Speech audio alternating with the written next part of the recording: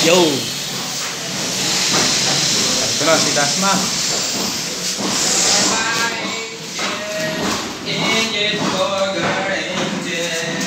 Samba ka sa vlog, oy.